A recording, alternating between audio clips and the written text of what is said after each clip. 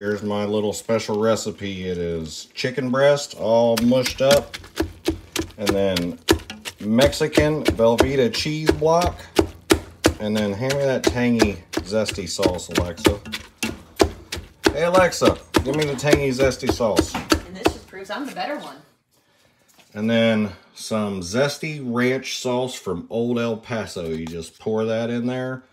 Mexican cheese, chicken breast, and black beans. And that makes good nachos, tacos. Oh yeah.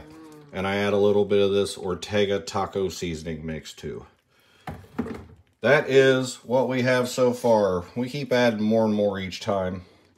But this is... My wife reminded me we have to add corn. We figured out last time corn is good. This is the result with a little bit of Mexican cheese on top. We got our uh, Zesty Ranch Chicken Nachos, basically. Zesty Ranch Chicken Nachos.